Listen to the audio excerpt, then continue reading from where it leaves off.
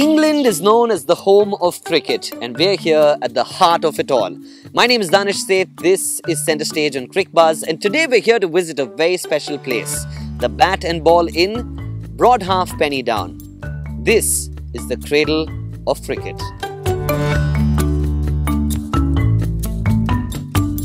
Tracy, thank you very much for having a chat with us. To begin with, tell us a little bit about Bat and Ball. Well, the Bat and Ball pub um, initially was called the Hut, and this is where the rules of cricket all came together. So, even though people have been playing cricket for a long, long time around the world, it was actually here in the 1770s that Richard Nyren, who was a, a fabulous cricket player, started bringing cricket together and formed a cricket team. Just to kind of understand, so a game of cricket would happen here, and then people would walk across the road to this place called the Hut. Yes. Um, and the Hut is also iconic in its own right. Tell us about that a little bit. Yes. Well, uh, the landlord, Richard Nyren, Yeah. was also an exceptionally good cricketer. So he organised the games, realising that there was an opportunity to make money. Yeah. Uh, and then the gentry came and formed the Hambledon Club. Yeah. And between Richard Nyren and the Hambledon Club, we got up to a sort of first class standard, albeit 250 years ago. Yeah. um, with with a view to establishing laws which then were adopted throughout the country, and some of them are still ones that we recognise in the modern game. At the Hut, um, cricket became established. Yeah. And some of the rules from cricket were established here. In fact, three major rules were written up here, and they were kept just over there. Okay. And um, after the rules were written here, Yeah. it then went on to go to Lords. I'm very curious to know what the three rules were. Well, firstly, um, one of the rules was instead of bowling across the ground, Yeah. it then went over arm.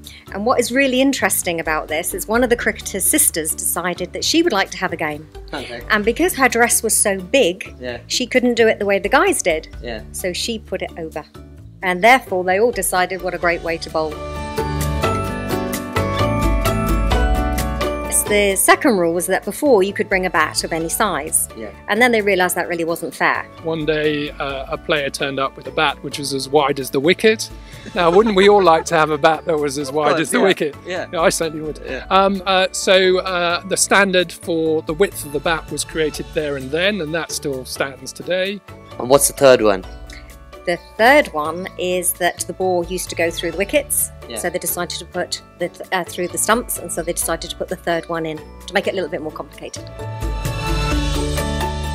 Thomas Lord was a local here, Yeah. and he saw the value of meeting with his friends and, and having great, great games of cricket. Yeah. He also had a place in London, so he looked around London for a, a, a ground that he could establish there. And of course, he found one initially near Baker Street and then St John's Wood, Yeah. where he established Lord's Cricket Ground.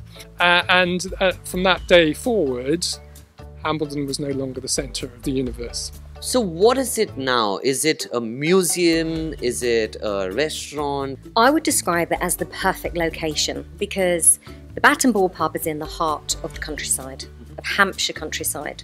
And just across there is Yeah. Broadhalfpenny Down, Yeah. where we play cricket today Right. and where cricket started. Right. The beautiful thing about it is that we um, want everybody from around the world to come and enjoy the food here. But especially play cricket over there. Right. We're inviting people to come, have your wedding reception here, have your party here, have your celebrations here. But also for those who really have a deep love of cricket, we've now arranged for people to be able to have their ashes spread here in three special locations on the grounds across there.